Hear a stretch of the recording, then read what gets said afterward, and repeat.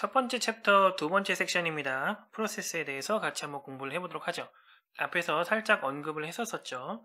자, 프로세스가 뭔지에 대해서 먼저 보도록 하겠습니다. 자, 프로세스는 메모리에 적재되어 실행되고 있는 똑같은 말이에요. 프로그램이라고 보시면 됩니다.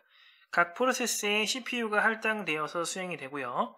프로세스 정보는 PCB라는 곳에 기록이 된다라고 되어 있습니다. 다양한 프로세스의 상태를 가진다고도 하는데 이거는 잠시 후에 같이 한번 보도록 하고요.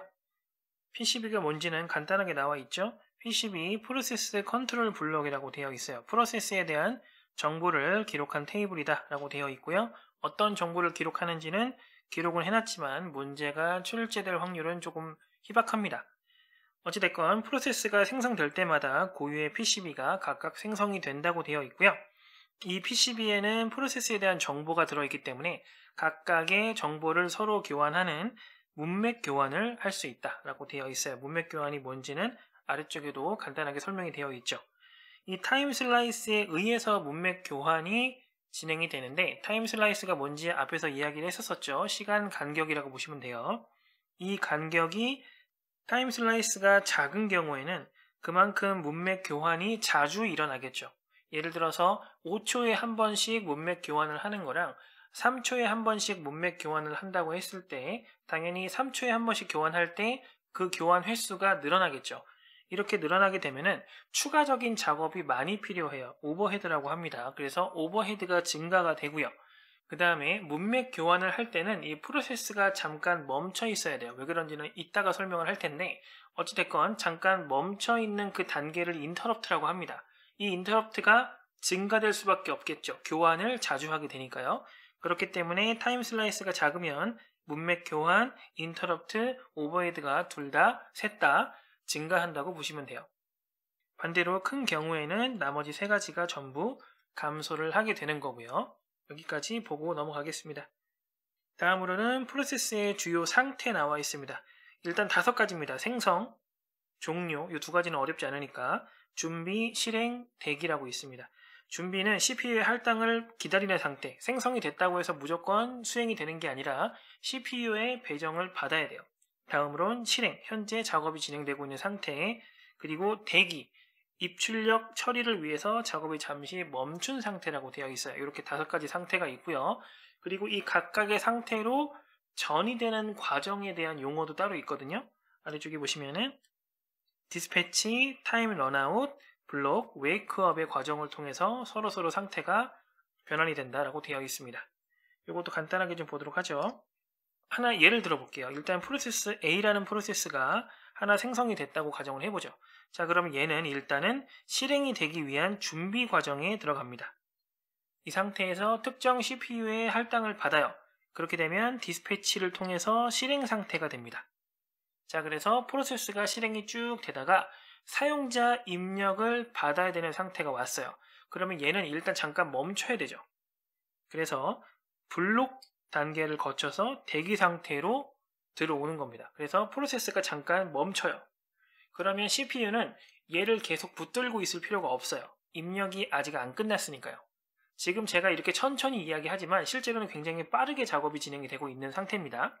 자, 그래서 어쨌든 이 CPU는 다른 프로세스를 도와주러 갑니다. 그리고 나서 입력을 받기까지 기다리고 있죠. 그래서 사용자가 입력을 했어요. 뭐뭐뭐 입력하고 엔터를 딱 쳤다고 생각하면 딱 쳤을 때 웨이크업 하면서 준비로 돌아갑니다. 왜 바로 run으로 안 돌아갔어요? CPU가 다른 일을 하러 갔거든요. 그렇기 때문에 준비 단계로 들어오는 겁니다. 준비 단계로 들어온 상태에서 다시 CPU가 할당을 해주면 dispatch 단계를 통해서 다시 run을 하게 되는 거예요. 이 상태로 진행이 되다가 프로세스가 끝나면 말 그대로 종료 상태가 되는 거죠. 이렇게 접근을 하시면 되겠습니다. 그럼 timer run out, 이 time run out 똑같은 말이에요. 이거는 무슨 의미를 가지고 있냐면 예를 들어서 time slice가 어, 5초라고 생각을 해볼게요. time slice가 5초인데 5초 안에 작업을 끝내지 못했을 경우입니다. 그러면 다시 한번 5초를 부여받기 위해서 일단은 준비 단계로 넘어가요. 그리고 그 뒤에 있는 프로세스들을 쭉 작업을 한 다음에 다시 얘한테 할당을 받게 되면 또 dispatch를 통해서 다시 실행 단계로 넘어가서 나머지를 진행하는 이런 형태로 진행이 됩니다. 그래서 time slice가 중요하다고 앞 강의에서도 말씀을 드렸죠. 이렇게 진행된다고 생각을 하시면 되겠습니다. 결국에 이 네 가지의 전이 과정과 이 세 가지, 정확한 다섯 가지죠. 세 가지의 이 상태에 꼭 기억을 해주셔야 돼요. 자주 나오는 부분입니다. 다음은 interrupt입니다. 앞에서도 잠깐 언급을 했던 적이 있죠. interrupt는 수행 중인 프로세스가 특정 요인에 의해서 일시 중지되었다가 다시 복귀하는 걸 이야기합니다. 그렇기 때문에 잠깐 멈췄다가 어떤 문제가 발생하는 거죠. 뭐 예를 들자면 실생활에서 여러분들이 밥을 먹다가 어, 물이 먹고 싶어졌어요. 그러면 밥을 먹는 걸 잠깐 멈추고 일단은 물을 뜬 다음에 물을 마시고 나서 다시 밥을 먹기 시작을 하죠. 이 과정이 interrupt라고 생각하시면 됩니다. 이해되시죠? 이런 interrupt의 종류가 총 세 가지가 있습니다. 외부 interrupt와 내부 interrupt, 그 다음에 소프트웨어 interrupt 이렇게 세 가지가 있는데요. 이 세 가지를 구분할 줄 아시면 돼요. 외부 interrupt 같은 경우에는 외부적 요인, 입출력 장치, 타이밍 장치, 전원 이상 어쨌든 외부적인 장치의 결함이나 어, 전원의 문제, 뭐 컴퓨터를 발로 찼어요 이런 것들 외부적인 요인에 의해서 발생되는 인터럽트고요. 다음에 내부 인터럽트는 잘못된 명령이나 데이터를 사용할 때 발생하는 그러니까 프로그램에 문제가 있다 정도로 인식하시면 되겠습니다. 그 다음 소프트웨어 인터럽트는 요청에 의해 발생한다고 적혀 있는데요. 간단하게 명령을 내린다 정도로 생각을 하시면 되겠습니다. 음, 뭐이 정도 보시면 될 것 같고요. 인터럽트에 대한 세 가지 설명이 전부 무조건 부정적인 느낌을 좀 주기는 하는데 무조건 부정적이기보다는 어, 현재 프로세스 입장에서 설명을 했다고 보시면 되겠습니다. 일단 내가 하던 작업을 멈춰야 하기 때문에 부정적인 느낌이 온 거다. 뭐 그 정도로 이해를 하시면 돼요. 무조건 부정적인 느낌은 아니에요. 넘어갈게요. 인터럽트 처리 절차입니다. 두 번째 인터럽트 처리 절차는 쭉 써있지만 제가 체크를 해놓은 부분이 없죠. 그냥 가볍게 이런 식으로 돌아가는구나 정도 인식하시면 되겠습니다. 프로세스 실행 중에 인터럽트가 발생을 하면 일단은 하던 것까지는 하고 프로세스를 중단합니다. 그 다음에 그 단계 정보를 PCB나 PC 우리 배웠던 부분이에요. 저장을 한 다음에 문맥 교환을 통해서 CPU 할당을 전환한다고 되어 있죠. CPU는 사람이고 프로세스는 작업이라고 생각을 하시면 됩니다. A 작업과 B 작업이 있는데 사람이 A 작업을 하다가 잠깐 멈추고 B 작업을 한다는 걸 이제 CPU를 할당했다 이렇게 표현을 한다고 생각하시면 돼요. 어쨌든 이런 식으로 해서 인터럽트 처리 루틴을 수행을 하고요. 그 다음에 PCB, PC 등에 저장된 정보를 통해서 다시 복구를 하고 기존에 하던 작업을 다시 수행을 한다. 이렇게 생각을 하시면 되겠습니다. 어떤 느낌인지 대충 감이 오시죠? 넘어가도록 할게요. 다음으로 이 부분은 암기할 게 조금 있죠. IPC라고 해서 프로세스 통신이라고 합니다. 통신 방법이 프로세스들한테는 직접적인 방법이 없어요. 자, 그래서 이 프로세스들이 통신을 하기 위해서 사용하는 특별한 기법을 IPC라고 하는데 두 가지가 있죠. 공유 메모리 기법과 메시지 전달 기법이 있다고 되어 있습니다. 두 가지가 서로 구분이 되어 있고 비교가 되어 있기 때문에 암기를 하실 때 서로를 비교해서 암기를 해주시면 됩니다. 자, 그리고 다음은 thread입니다. 자, thread는 프로세스 내에서 실행되는 흐름이라고 되어 있어요. 프로세스보다 더 작은 프로세스라고 생각하시면 돼요. 그래서 경량 프로세스라고도 합니다. 일반적으로 하나의 프로세스는 하나의 단일 thread를 가지지만 둘 이상의 다중 thread 방식도 있다라고 되어 있습니다. thread는 서로 독립적으로 다중 수행이 가능하다고 되어 있고요. 특징입니다. 어, 더 추가적인 특징이 있습니다. 이 특징을 조금 더 세분화하자면 병행성을 증진시킬 수 있고요. 처리율 향상시킬 수 있고 자원에 대한 낭비가 줄어든다라고 되어 있습니다. 어떻게 보면은 어, 요 하나로 귀결될 수 있는 특징들이라고 보시면 돼요. 자, 스레드도 마찬가지 종류가 있죠. 종류를 보시면은 thread는 사용자 레벨과 kernel 레벨이 있어요. 사용자 수준, kernel 수준 이렇게도 표현을 하고요. 사용자 레벨은 사용자 라이브러리를 통해서 구현을 한다라고 되어 있습니다. 빠르지만 구현이 어렵다. 그 반대 개념이죠. 항상 두 가지가 나와 있으면 대부분 두 가지를 서로 반대되는 개념으로 기억을 하시면 돼요. kernel 같은 경우에는 느리지만 구현이 쉽다라고 되어 있고요. 자, 그 다음 이 두 종류를 혼합한 multi level thread도 있다고 되어 있죠. 두 번째 문장, 빠르게 수행되어야 하는 thread는 사용자 레벨로, 안정성이 필요한 thread는 kernel 레벨로 작동을 하게끔 하는 thread입니다. 요거까지 기억을 해주시면 되겠네요. 자, 본격적으로 시험에 자주 나오는 부분에 대해서 같이 좀 보도록 할게요. 어, 프로세스 scheduling입니다. 프로세스가 여러 가지 있을 때 이 프로세스들을 어떻게 이제 scheduling 할 거냐, 뭐 그런 개념이겠죠. 포인트는 우선순위입니다. 프로세스가 많을 때 무조건 순서대로 하는 것도 방법이겠지만 응급실처럼 긴급하게 작업을 처리하는 게 사용자 입장에선 더 좋잖아요. 그렇기 때문에 우선순위를 부여해서 먼저 진행해야 되는 작업을 빨리빨리 진행할 수 있게끔 스케줄링을 하는 거예요. 여러 가지 방법이 있는데 일단은 장기, 중기, 단기 스케줄링이 있다고 되어 있습니다. 장기는 커널 나오고요. 중기는 메모리, 단기는 CPU라는 단어가 보인다라는 것 정도 연결해 주시면 좋을 것 같고요. 자, 그리고 스케줄링 방식이 강제 중단 여부에 따라서 선점형과 비선점형 두 가지가 있다고 되어 있습니다. 강제 중단 여부라는 것은 프로세스를 강제로 종료시킬 수 있는 정상적으로 작동하고 있는 프로세스를 너 그만해 이렇게 중단시킬 수 있는 능력을 가지고 있냐 가지고 있지 않냐 두 가지로 보시면 됩니다. 자 그래서 비선점형은 중단을 할 수 없어요. 일괄 처리 중심이고요. 각각 하나씩 다 공부할 겁니다. 선점형은 중단이 가능하다라고 되어 있어요. 자, 요거 실시간 처리 중심이라고 되어 있고 마찬가지 공부를 다 할 겁니다. 이 선점형이라는 말은 Windows 공부를 할 때 선점형 멀티태스킹이라는 단어를 같이 한번 본 적이 있죠. 그 선점이 이 선점이에요. 자세히 얘기하자면 여러 가지 이야기를 할 수가 있겠지만 시험에 그 정도까지 나오진 않으니까 이 정도만 보고 넘어가도록 하겠습니다. 아래쪽에 프로세스 스케줄링 원칙 나와 있는데 제가 아래쪽이 아니라 위쪽에 이렇게 형광펜을 칠해둔 이유는 상식적인 부분이기 때문이에요. 한번 보면 중요 자원의 선점 및 안정성이 높은 프로세스가 우선순위를 가진다. 당연한 이야기죠. 신속한 응답, 효율적 자원 활용의 균형이 유지되어야 한다. 당연한 얘기고요. 처리 능력을 높이고 대기 시간, 응답 시간 등을 줄일 수 있도록 스케줄링 한다. 당연히 응답 시간이라든지 대기 시간이 늘어나면 좋지 않겠죠. 상식적으로 생각을 해봤을 때 그렇기 때문에 이 스케줄링 원칙에 대해서 예를 들어서 뭐 옳지 않은 것을 고른다든지 그런 식의 문제가 나온다고 하면 부정적인 문장을 고르시면 돼요.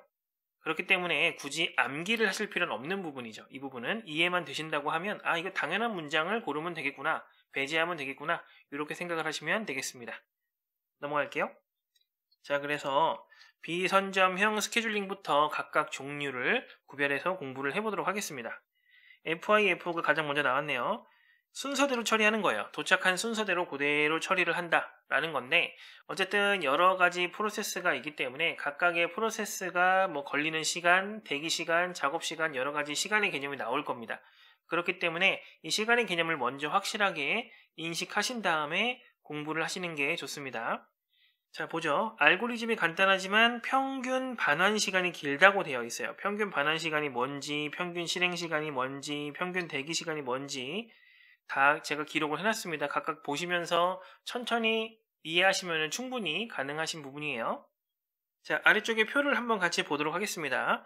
어, 일단은 작업, 프로세스가 발음이 좀 어려워서 작업이라고 할게요.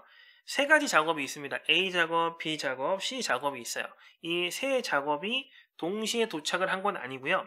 일단은 A 작업은 바로 도착을 했고요. B 작업은 1초 뒤에, 그 다음에 C 작업은 2초 뒤에 도착을 했습니다. 그러니까 A, B, C 순으로 작업을 진행하겠죠. 각각 작업은 24초, 6초, 3초 정도 걸린다고 이제 가정을 했습니다.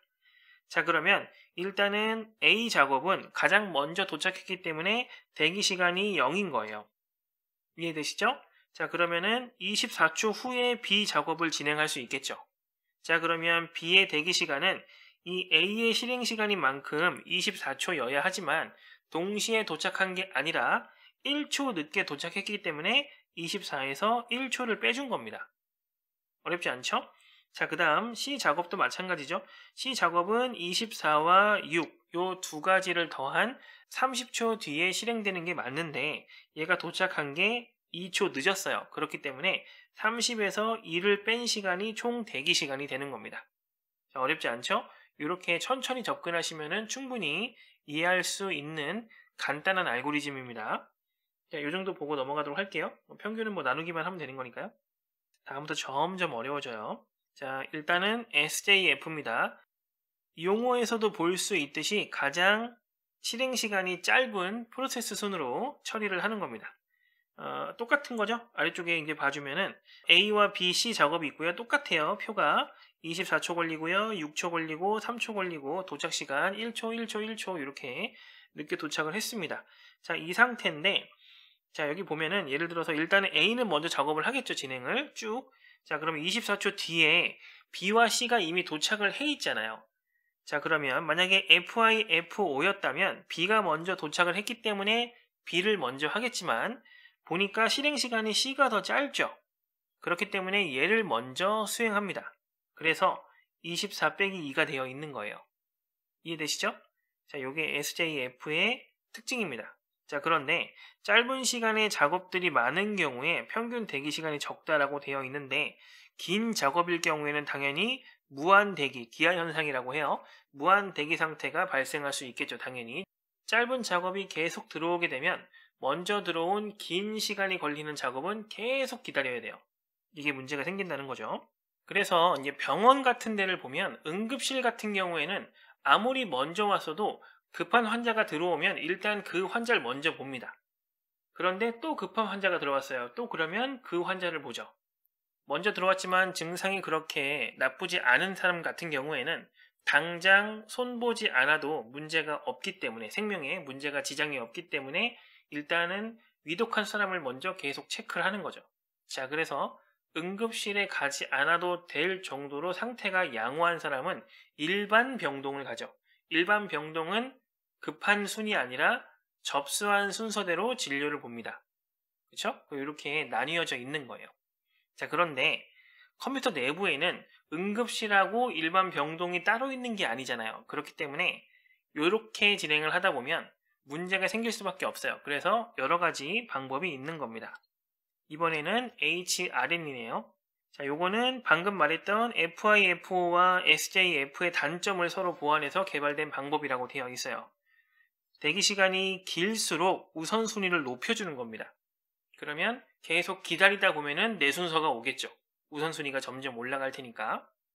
자, 여기에는 우선순위 공식이 나옵니다. 이 공식을 암기해 주셔야 돼요. 이 HRN과 관련된 문제가 나온다고 하면 아래쪽의 형태로 문제가 나올 테니까 이 표의 형태를 잘 보세요. FI, F5나 SJF 같은 경우에는 뭐 ABC가 언제 도착했고 실행 시간이 얼마고 이렇게 포인트가 나오지만 어, HRN 같은 경우에는 실행 시간이 이 정도 되고 현재 대기 시간이 이 정도 되면 실제 우선순위는 얼마가 될까라고 오른쪽에 이렇게 나오는 형태 이 공식을 적용해서 결과가 나오는 이런 형태로 문제가 나오기 때문에 요거를 잘 파악을 하셔야 돼요. 그래서 이 표를 봤을 때 가장 먼저 수행되어야 하는 애가 누구냐 이렇게 물어볼 수 있겠고 아니면 이 각각의 우선순위를 물어볼 수도 있습니다. 그렇죠? 그렇기 때문에 지금 이 상황이라면 가장 많이 오래 기다린 이 B 작업이 가장 먼저 수행이 되겠구나 이렇게 판단을 할 수가 있겠죠. 이 정도로 보시면 되겠습니다. 자, 여기까지가 비선점형 스케줄링이었어요. 비선점형 스케줄링은 작업이 한번 시작되면 그 작업을 끝낼 때까지 진행을 합니다. 그래서 비선점형이에요. 중단을 할 수가 없어요. 자, 그런데 다음에 배울 선점형 스케줄링은 중간에 중단이 가능해요. 작업 자체를 중단하는 게 아니라 일시로 중단하는 거예요. 잠깐 멈췄다가 다른 작업을 봐주는 다른 프로세스를 수행하는 그런 형태입니다. 그러니까 조금 더 복잡해요. 보도록 하죠. 첫 번째로 round robin입니다. 동일한 시간 간격을 사용하는 시분할 처리 시스템 똑같은 말이라고 보시면 돼요. 효과적으로 적용이 되는데 time slice 시간 간격 예를 들어 5초면은 5초 단위로 프로세스를 처리한다. 예를 들어서 A 작업을 처리한다고 하면 5초만 처리하고요. 놔두고 그 다음에 B 작업을 5초 처리하고 그 다음에 C 작업을 5초 처리하고 이런 식으로 시간을 분할해서 처리를 한다. 이런 개념이라고 보시면 됩니다. 아, 뭐 이것도 특징이니까 한번 봐주시면 될 것 같고요. 자, 아래쪽에 표를 같이 한번 보면서 진행을 해보도록 하죠. 5초의 시간 간격을 가진 프로세스를 RR round robin 방식으로 스케줄링 하는 걸 같이 한번 생각을 해보겠습니다. 일단 작업이 쭉 이렇게 도착을 했어요. 그리고 각각의 작업의 실행 시간. 근데 이걸 남은 시간이라고 표현을 했어요. 왜냐면은 하다가 멈추고 하다가 멈추고 할 거기 때문에 현재 뭐 실행 시간, 남은 시간 이렇게 보시면 되겠습니다. 어쨌든 이런 식으로 진행이 되어 있어요. 자, 그럼 일단은 A 작업을 먼저 진행을 하겠죠. 내려가서 보겠습니다. 자, 일단 작업 C, D를 먼저 보겠습니다. 어, 위에 나와 있듯이 10초 뒤에 수행되고요. 15초 뒤에 수행돼요. 자, 그런데 5초, 6초 늦게 도착했다고 되어 있죠. 다시 한번 올라가서 확인을 해볼게요. CD는 A 작업과 B 작업이 끝난 다음에 C가 진행되고요. 그 다음에 C가 끝난 다음에 D가 진행됩니다. 그런데 시간 간격이 5초니까 여기 5초, 여기 5초 다음에 수행, 그러니까 10초 뒤에 진행이 된다는 거고요. D 같은 경우에는 C도 수행을 한 다음에 진행이 되기 때문에 15초 뒤에 수행이 된다는 소리예요. 자, 그런데 실제로 얘네들이 도착한 시간이 5초, 6초 뒤에 도착을 했다라는 거죠. 얘를 기준으로 봤을 때. 자, 그 상황입니다. 다시 한번 갈게요. 자, 그래서 작업 C는 10초 뒤에 수행이 되지만 5초 늦게 도착했기 때문에 실제 대기 시간은 5초다. 어, 그 다음에 작업 D는 15초 뒤에 수행되지만 6초 늦게 도착했기 때문에 실제 대기 시간은 9초다. 뭐 이렇게 볼 수 있다는 겁니다. 자, 이렇게 하게 되면 아래쪽에 표에 남은 시간이 다 5초씩 깎인 걸 볼 수가 있어요. 이것도 다시 한번 볼게요. 여러분들은 책을 보시면 되지만 영상을 보시는 분들은 위에 없으니까 지금 왔다 갔다 좀 하겠습니다. 자, 그래서 실제로는 남은 시간이 10초, 18초, 5초, 3초인데 여기서 다 5씩 깎였다고 생각하시면 돼요. 자, 그래서 5초, 13초, 여기 원래 5초였는데 0초 됐고요. 여기 원래 3초였는데 0초가 됐습니다. 이해되시죠? 같은 방식으로 계속 수행을 하는 거예요. 작업 C와 D는 이미 종료가 됐기 때문에 A와 B를 순회를 하면 됩니다. 그러면 일단은 요거 5초 수행하겠죠. 그 다음에 얘 5초 수행을 하려고 봤더니 얘가 끝났어요. 그럼 얘를 쭉 다 수행을 하겠죠. 이런 식으로 진행이 되는 거예요. 자, 그래서 각각 평균 실행 시간과 평균 대기 시간, 이 대기 시간, 실행 시간을 이용해서 구한 평균 반환 시간까지 이렇게 계산이 된다. 구분을 해주시면 되겠습니다. 좀 어려웠죠? 여러분들이 직접 실제로 계산을 해보셔야 돼요. 영상을 보면서 아 저런 식으로 계산이 되는구나 하고 넘어가시면 안 됩니다. 영상을 닫고 잠깐 멈추시고 책에다가 아니면 노트에다가 직접 계산을 해보시는 걸 추천드립니다. 넘어가서 SRT입니다. 여기서부터는 특별히 계산을 하실 필요는 없어요. 특징만 구분을 하시면 돼요. SRT는 작업이 끝나지 않은 프로세스에 남아있는 실행 시간이 가장 작은 프로세스를 먼저 실행한다 라고 되어 있어요. SJ 기법을 선점 형태로 변경한 거다 라고 되어 있죠. 어, 시간 간격상으로 계속 계속 바뀌어줘야 되기 때문에 이렇게 된다라는 거고요. 그 다음에 MFQ는 짧은 작업이나 입출력 위주의 프로세스에 우선순위를 우선 부여한다. 먼저 부여한다. 이렇게 파악을 해주시면 되겠습니다. 다음으로 프로세스 관련 기술에 대해서 좀 나와 있습니다. 가장 먼저 상호 배제에 대해서 mutex라고 되어 있죠. 임계 구역이라는 용어가 있는데요. 다수의 프로세스가 서로 공유하는 자원의 영역, 이 영역 안에 임계 구역 안에 있는 자원을 서로 공유한다 라는 건데요. 이 공유를 동시 사용할 수는 없고요. 또는 독점을 할 수도 없어요. 서로 번갈아 가면서 써야 된다라는 얘기예요. 그 다음에 상호 배제라고도 되어 있는데 아래쪽도 한번 보죠. 상호 배제 하나의 프로세스만 임계 구역에 접근할 수 있도록 방금 이야기를 했죠. 서로 번갈아 가면서 써야 된다고요. 공중 화장실 같은 겁니다. 화장실에 둘이 들어갈 수는 없으니까요. 다른 프로세스의 접근을 차단하는 거다라고 되어 있어요.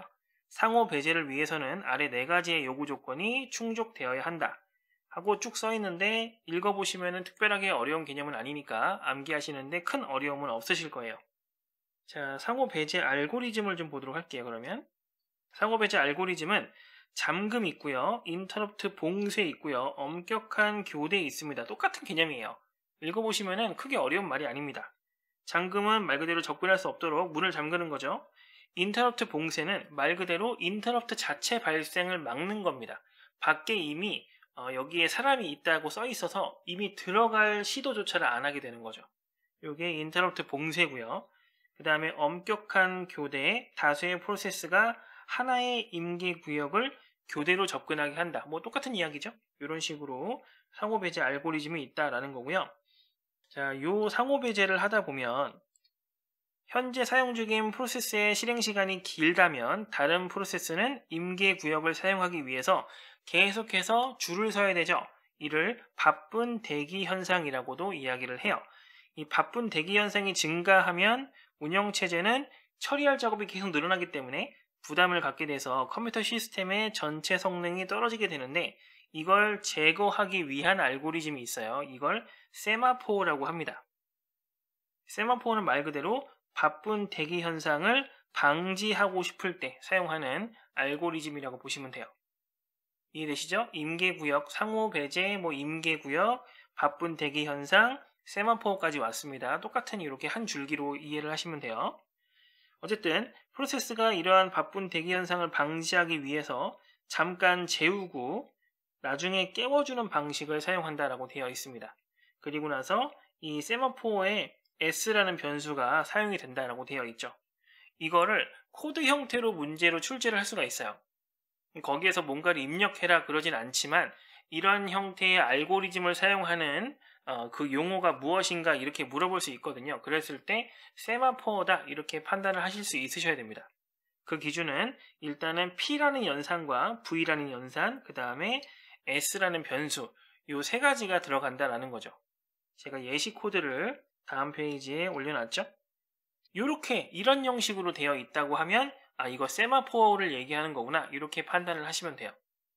딱 봤을 때 시언어 같기도 하고 아닌 것 같기도 하고 약간 어색한 코드가 나와 있죠. 이런 코드가 나와 있는데 하나는 P고 하나는 V고 하나는 S예요. 이렇게 되어 있으면 아 이거 지금 세마포 이야기하는 거구나 이렇게 판단을 하시면 된다라는 소리입니다. 넘어갈게요. 이거 실제로 뭐 해석하거나 그러진 않으니까요. 다음은 교착 상태입니다. 교착 상태는 다수의 프로세스가 같은 자원의 할당을 요구하면서 무한정 기다리고 있는 상태를 교착 상태라고 이야기를 해요. A라는 프로그램과 B라는 프로그램, 정확하게는 프로세스지만 어, 두 프로그램이 하나의 자원을 쓰겠다고 지금 대기하고 있는 거예요. 그러면 예를 들어서 윈도우즈라고 하면은 엑셀과 뭐 카카오톡이라고 해보죠. 카카오톡하고 엑셀이 어떤 하나의 A라는 자원을 사용하게끔 승인을 내달라고 했을 때 윈도우즈는 뭐 예를 들어서 카카오톡 네가 먼저 써 아니면 엑셀 네가 먼저 써 이렇게 판단을 못합니다. 동시에 요구를 했기 때문에 이거를 누구한테도 주지 못해요. 이 상태를 교착 상태라고 이야기를 합니다. 뭐 양보 이런 거 없으니까요 컴퓨터는 자 그래서 이 교착 상태가 발생하기 위한 필요 충분 조건이라는 게 있는데요 이게 다 조건이 만족을 해야 돼요 이 네 가지를 다 만족을 했을 때 교착 상태가 발생이 된다라는 거예요 읽어보시면은 단어 뜻 자체가 용어 뜻 자체가 그렇게 어렵진 않기 때문에 간단하게 읽어보시면 될 것 같고요 뭐 모르시겠으면은 질문 게시판을 이용해 주시면 되고 이 교착 상태를 해결하기 위한 방법이 나와 있죠 이 네 가지를 기억을 해주셔야 돼요. 예방, 회피, 발견, 회복이라고 있습니다. 일단은 예방은 하나 이상을 부정한다고 되어 있어요. 이 네 가지 중에 하나 이상을 예를 들어 한 가지만 두 가지도 괜찮죠. 한 가지만 한 가지 이상만 부정을 해주면 교착 상태를 예방할 수 있다라는 개념이죠. 자, 넘어가서 회피가 있습니다. 약간 개념이 달라요. 회피는 안정적 상태를 유지할 수 있는 프로세스의 요청만 받아들인다고 되어 있습니다. 자, 그래서 방금 뭐 말씀드렸듯이 카카오톡하고 엑셀이 있다고 하면 예를 들어서 엑셀 작업을 주로 하고 카카오톡은 잘 안 해. 그랬을 때 카카오톡하고 엑셀을 같이 켰을 때 문제가 생길 수 있다 그러면 아예 카카오톡을 거부하는 거예요. 쉽게 표현을 하자면 자, 요게 회피입니다. 대표적인 회피 알고리즘으로 은행원 알고리즘이 있다고 되어 있죠. 이 은행원 알고리즘이 뭔지는 사실 시험에 나오지 않겠지만 간단하게 설명을 드리자면 은행원이 예를 들어서 누군가에게 대출을 해주잖아요.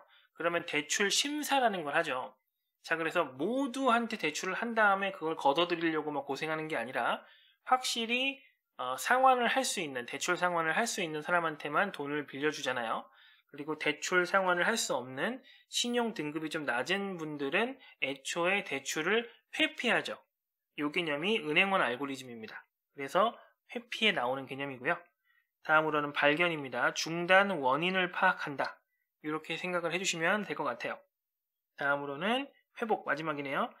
회복입니다. 회복은 교착 상태가 발생한 프로세스 중에 중단할 프로세스를 정해서 자원을 빼앗는 방식이라고 되어 있어요. 카카오톡하고 엑셀이라고 했죠. 아예 카카오톡을 안 받아버리면 회피고요. 그 다음에 두 개가 교착 상태가 발생을 했는데 이때 카카오톡을 강제로 종료해버리면 이건 회복입니다. 감이 오시죠? 자, 그래서 이 카카오톡을 먼저 지울 건지 엑셀을 먼저 지울 건지 이 희생량을 정하는 기준이 네 가지가 나와 있습니다. 읽어보시면은 당연한 얘기예요. 우선순위가 낮고 진행률이 적고 자원을 적게 사용하고 수행이 불가능한 상태 이런 애들을 먼저 날려버리는 게 당연히 상식적으로 맞겠죠? 여기까지가 프로세스에 대한 내용이었습니다.